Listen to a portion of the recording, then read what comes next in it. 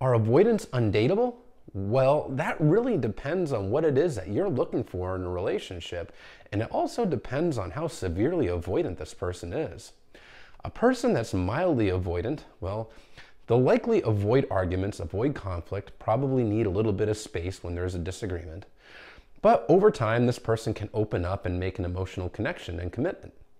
A severe avoidant, however, keep in mind this is a person that has a paralyzing fear of commitment, a fear of abandonment, a fear of rejection, a fear of engulfment. A person that has a low self esteem and a lack of self worth that feels unlovable. This is a person that keeps all of their partners at an emotional arm's length.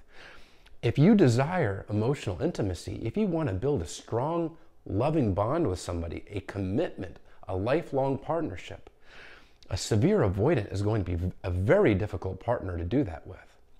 Every time you push for emotional intimacy, they will pull away. They can even disappear or run from the relationship altogether if things get too close. And severe avoidants can often do things to self sabotage the relationship.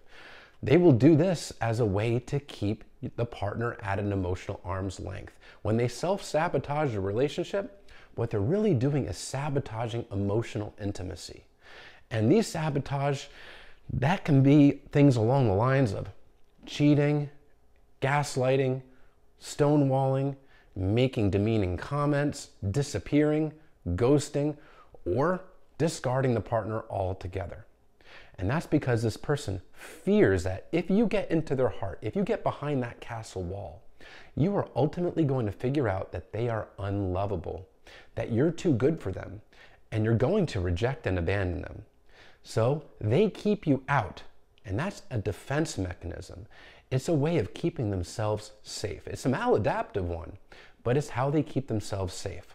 This is a person that learned during childhood that anybody that you rely on for your emotional needs is ultimately going to let you down, disappoint you, reject you, and abandon you.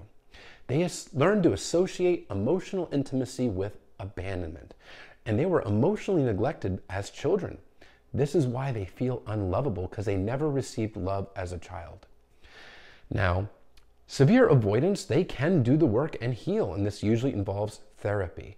But with a lot of work, dedication, and commitment, they can learn to become secure partners and they can end up learning to be healthy, good partners that contribute to a relationship and can stay in commitment. But the ones that don't do the work if they continue to avoid their problems, because that's what avoidants have learned to do, instead of face problems, they run from them, suppress their emotions, and run from the problem.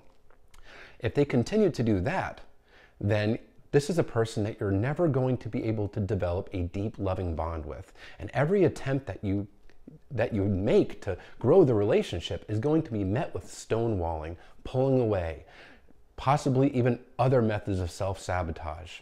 And it can be a very heartbreaking experience, especially if you're a person that wants emotional intimacy, especially if you're a person that longs for a deep romantic connection. Now, severe avoidants, well, they can have great personalities. They can be very lively in social settings. They can be confident at work.